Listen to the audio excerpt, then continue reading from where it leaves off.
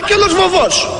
Μια ακμαία μεγάλη εταιρεία εμπιστεύεται το ελληνικό κράτος, κάνει μια γιγαντιαία επένδυση, ο νόμος είναι με τη μεγαλύτερη δυνατή κοινοβουλευτική πλειοψηφία, πάνε 110, 113, 117, δεν θυμάμαι πώς ήταν αυτή η μουρλή, στο Συμβούλιο της Επικρατείας και μπλοκάρουν αυτή την επένδυση με κίνδυνο να χροκοπήσει η εταιρεία.